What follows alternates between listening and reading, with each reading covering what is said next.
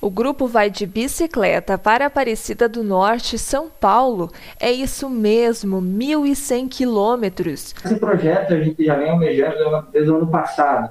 Né? A gente teve uma ideia inicial que acabou ficando por ali.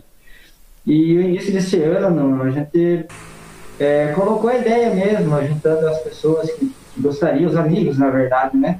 Que gostariam de fazer essa viagem, pagar uma promessa, alguma coisa assim, sabe? Ou a vontade mesmo de pegar a estrada. A saída está marcada para o dia 6 de fevereiro de 2021 e a chegada dia 14. Vai ser num sábado pela manhã, né? A ideia é sair entre 7 horas, 7 e meia por aí, né? Para fazer o primeiro é, trajeto do dia, no caso, que seria até a cidade de Candóia. Ali a gente faz a pernoite, né? É, para descansar e posterior, no dia seguinte, é ir ao próximo destino, né?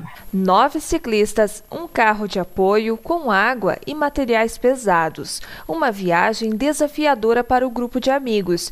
Tudo com muito planejamento. Afinal, o grupo vai pedalar por nove dias. Basicamente, vamos tentar fazer aí, tentar não, vamos conseguir 120 a 150 quilômetros diários com paradas mais ou menos de 30, 35 quilômetros com esse carro de apoio, onde vai ter ponto de hidratação, alimentação, e à noite sempre vai ser em hotel. Treinos diários para isso. Hoje a gente conta com apoiadores, né, que está dando apoio de treino e alimentação, a gente está se preparando nessa parte.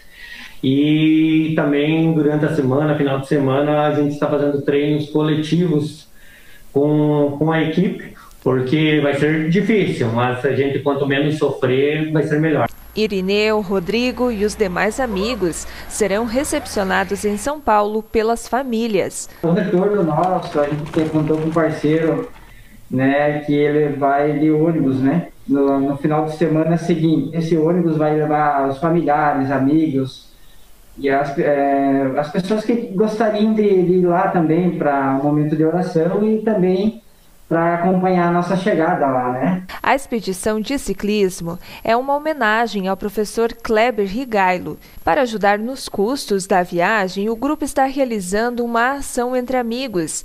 Entre os prêmios, a bicicleta que o professor realizava seus treinos diários. Infelizmente, ano passado, no mês de agosto, ele acabou falecendo conta de uma leucemia.